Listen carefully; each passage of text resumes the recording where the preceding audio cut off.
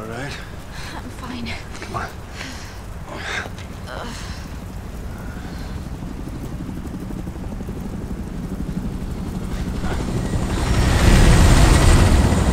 Shit.